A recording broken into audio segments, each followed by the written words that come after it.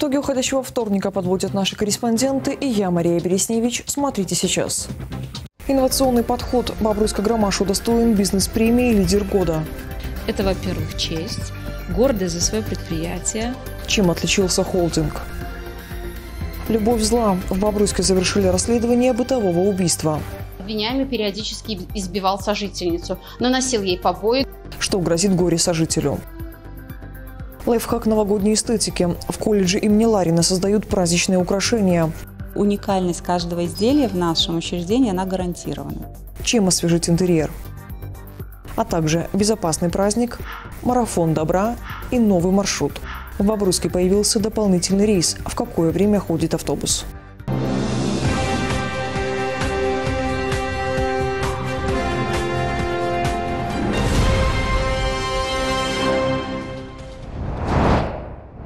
Один. Бобруйский горисполком, Красный пищевик и Бобруйска Громаша удостоены звания «Лидер года-2021». Предприятие заслужило гран-при за инновационный распределитель минеральных удобрений. О непревзойденном качестве и эффективном управлении Ольга Васенда.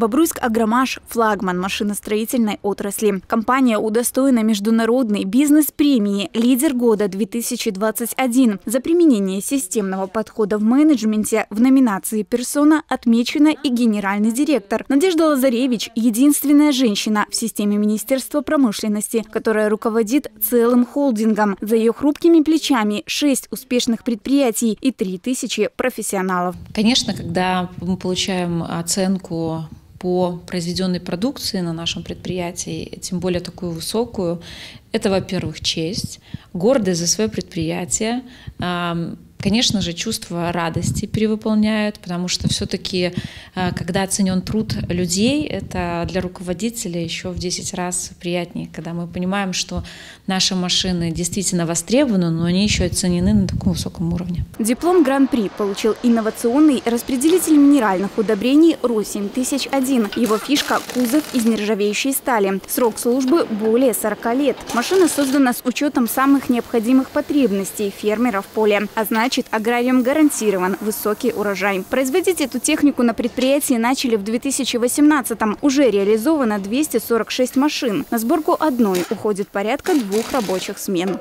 Сборка – завершающий этап. Здесь устанавливаются приводной узел, тормозная система, гидрооборудование и колеса. Чтобы изготовить распределитель минеральных удобрений, необходимо порядка трех с половиной тысяч деталей. Холдинг – производитель широкой линейки сельскохозяйственных машин. Всего порядка 80 наименований. В 2019-м Бобруйск Громаш начал масштабную модернизацию производства. Здесь появились новые умные станки, окрасочная и сушильная камеры, современное сварочное оборудование и аппараты для плазменной резки металла. Мы с вами находимся в сборочно-красочном цеху. Здесь собираются где-то 70% наших машин. Пресс-подборщики, машины для внесения жидких органических удобрений – прицепы, кормозаготовительная техника. Торговую марку предприятия знают в Европе, Азии, странах Ближнего Востока, Африки, Центральной и Южной Америки. Экспорт продукции увеличился на 30% по отношению к прошлому году. За счет долгосрочного сотрудничества постоянно увеличиваются объемы производства и выручка от реализации товаров. Растет зарплата сотрудников. Мы подходим э, к особым трепетам каждому потребителю и стараемся все его требования отразить в наших машинах. То есть мы никому не говорим, ни одному Э, потенциальному даже потребителю нет. Мы стараемся реализовать все его замыслы, адаптировать машину под определенные условия работы. Предприятие с богатой 47-летней историей сейчас переживает свое второе рождение. Успех Бобруйск Агромаша связан с эффективным управлением, грамотной стратегией и инвестициями в развитие. В планах холдинга открыть альтернативные рынки сбыта, произвести новую технику и во всем быть номер один. Ольга Васенда, Максим Галеонко, Бобруйск, 360. Неудачные отношения. В Бобруйске завершено расследование убийства с особой жестокостью. Ночью 26 мая 37-летний мужчина во время ссоры с сожительницей избил ее. Затем схватил кочергу и продолжил наносить удары по голове, шее и грудной клетке. От полученных травм женщина скончалась на месте. Установлено, что с октября 2018 года обвиняемый периодически избивал сожительницу, наносил ей побои, душил, бил табуреткой и другими предметами. Ранее мужчина судим не был. На теле умершей обнаружено 87 телесных повреждений. Мужчине предъявлено обвинение в истязании и убийстве с особой жестокостью. Он заключен под стражу.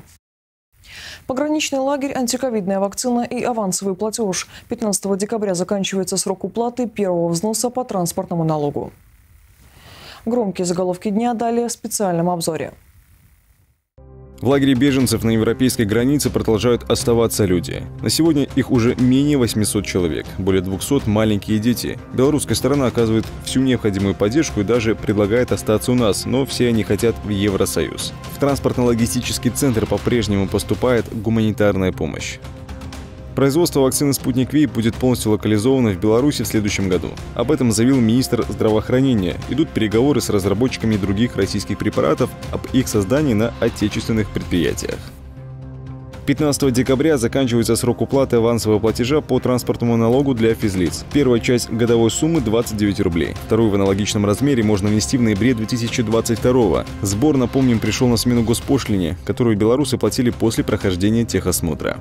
Белпочта сообщает о возможном увеличении сроков пересылки отправлений перед Новым годом. В преддверии праздников потоки увеличиваются в два с половиной раза. Компания рекомендует заранее позаботиться об отправке писем внутри страны и за рубеж. В Беларуси стартовал большой праздничный марафон добра «Наши дети». Это тот самый случай, когда чужих малышей не бывает. Новогодние подарки и представления снова приедут в интернаты и дома семейного типа, развивающие центры многодетные, опекунские приемные семьи. Акция продлится ровно месяц до Старого Нового года. Праздник без неприятных сюрпризов. В Бобруйске стартовала акция «Безопасный Новый год». Первый этап направлен на профилактику ЧП среди пенсионеров. Инспекторы посетят центры социального обслуживания в плане викторины и конкурсы. Затем спасатели отправятся в детские сады и школы. Расскажут правила безопасности в период зимних каникул, как вести себя на льду, пользоваться хлопушками и бенгальскими огнями. Предновогодний период э, сопровождается всегда резким увеличением количества пожаров и травм в результате нарушения правил пожарной безопасности, а также неосторожным обращением при использовании пиротехнических э, изделий. Э, предупреждение чрезвычайной ситуации такого характера и является целью республиканской акции «Безопасный Новый год». Финал пройдет в торговых центрах. А 30 декабря детей и родителей ждет сказочный праздник. Завершится акция 31 числа.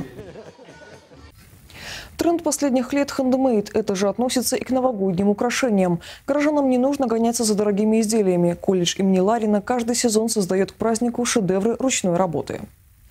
Карина Гуревич выбрала аксессуар для елки.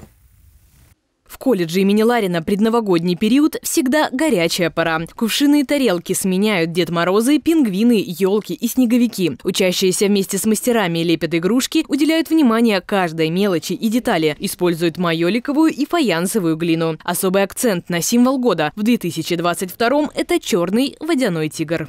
Самое сложное – это идея, чтобы работа в итоге была хорошей, ее могли купить, или же она самой тебе нравилась, потому что иногда это трудно сделать что-то красивое.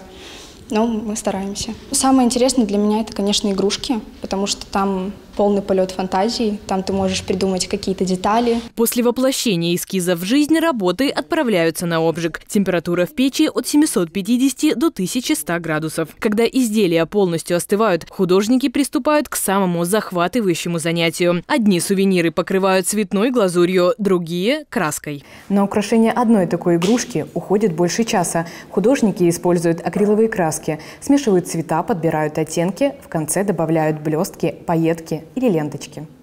Помимо керамики, хендмейдеры используют дерево. Чаще всего это сосна. Есть и елочные игрушки из пенопласта. Они легкие, хорошо смотрятся в любом интерьере. Еще в этих творческих мастерских рождается расписная посуда, открытки и инсталляции с живыми шишками и веточками. Каждое изделие, э, скажем так, выполнено трудом наших мастеров и учащихся, расписано тоже ручной росписью, э, вылеплено также из глины вручную, и поэтому уникальность каждого изделия в нашем учреждении, она гарантирована. То есть то, что вы приобретаете у нас, это действительно уникальные вещи в единственном экземпляре. Работа здесь кипит с середины ноября и вплоть до конца декабря. За сезон мастера создают больше 700 изделий. Приобрести украшения можно в магазине на территории колледжа на Крылова 38 по будням с 8 до 17 часов. Кстати, хендмейд – тренд последних лет. В этом году елку стоит украшать преимущественно в черные, синие и голубые цвета. Карина Гуревич, Максим Галенко, Бобруйск, 360.